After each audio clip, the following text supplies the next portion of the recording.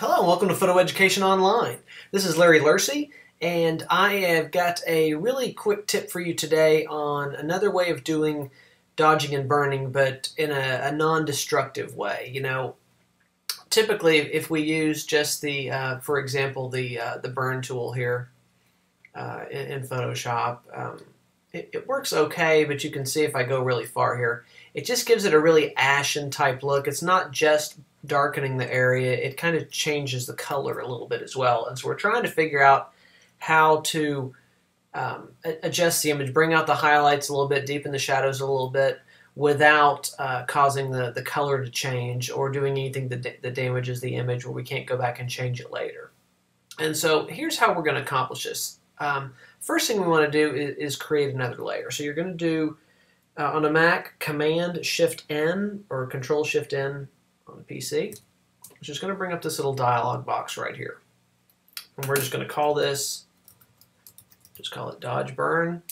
Now, a couple of important things you need to do here. You want to change the mode to overlay, and then click this little box that says fill with 50% gray. Hit OK.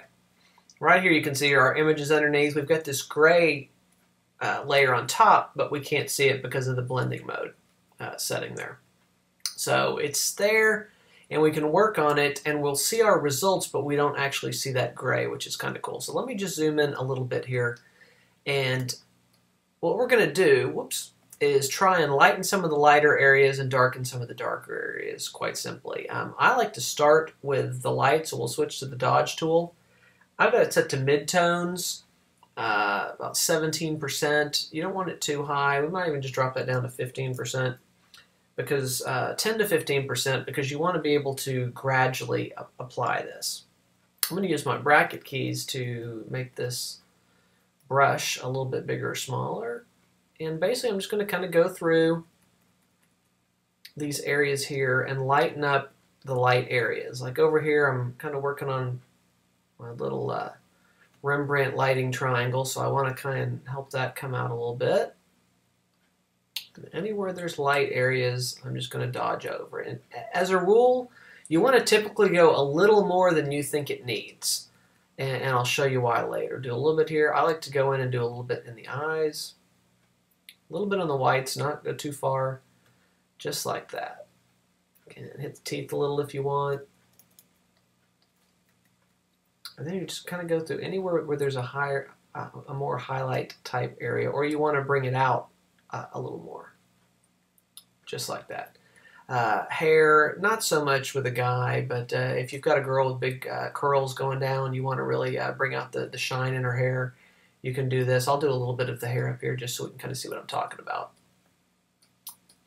Just like that. So once you've gone through and done that everywhere, you're going to switch over to the burn tool. Again, we're working on this dodge burn layer.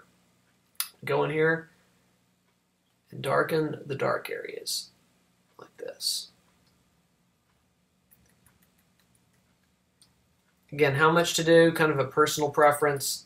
Just kind of depends on how much you want to add to it. But again, I'm going to try and go a little bit more than I think it needs and then adjust it back at the end. These lashes here, we can make them a little darker. The eye black, a little darker. Maybe even darken the lips just a little bit. Like that. Um, and maybe, you know, you go back, you say, well, you know what, I probably should have done a little more on that lip there. You go back to the dodge tool, and you can go in and do a little on the lips. And kind of switch back and forth. You can even do this, let me back up a little bit. If we switch back to burn, and you want to get a little bit bigger and kind of give the whole thing a, a vignette. You can kind of circle around just to kind of draw the focus uh, into the center a little bit, just like that. Not too much, uh, just enough to kind of bring in the focus a little bit. So there we go. So there we go. We've got it all worked up. And uh, let's look at the uh, before and after because you can't really see it. It doesn't look like we've done any drastic work here, but uh, you can flip it off like that and see that it really does give it a much more three-dimensional look. And if you decide that's a little too much, you just come right here to the opacity Bring that down a little bit like that. Bring it down to about 70%. And uh, there you go. again, it doesn't have an overly retouched look, but when you look at it with the before and after, really gives it a much more three-dimensional feeling and uh, a lot more impact. So I hope that helps. If you have any questions, be sure and let me know and check back for more tutorials soon. And if you haven't done so already, please subscribe so you can hear about new videos as soon as they come out. Thanks a bunch. Bye-bye.